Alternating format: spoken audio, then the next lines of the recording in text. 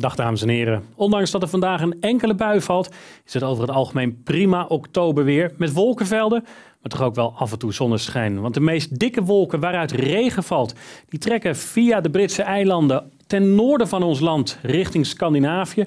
Onder de vleugels van een hoge drukgebied is het bij ons relatief rustig, maar helemaal droog, dat is het niet. Zo zien we deze ochtend best nog wel wat wolkenvelden waaruit soms een klein buitje kan vallen, met name in het oosten en noordoosten van het land. En ook vanmiddag kan eigenlijk in het hele land wel een bui vallen, maar de droge momenten overheersen en zeker in de zuidelijke provincies breekt regelmatig de zon door. Ik denk dat in het noorden de bewolking af en toe wel hardnekkig is, maar de paraplu kunnen we grotendeels thuis laten. De temperatuur loopt op naar een graad of 14 en er staat niet al te veel wind uit zuidwestelijke richting. En na morgen kan die paraplu sowieso eventjes thuis blijven, want er staan een paar droge dagen op het programma tot met vrijdag. Met erbij vooral donderdag heel veel zonneschijn en ook nog eens hoge temperaturen. In het zuiden van het land kan de temperatuur zwaar oplopen naar een graad of 18, maar het waait af en toe wel stevig door.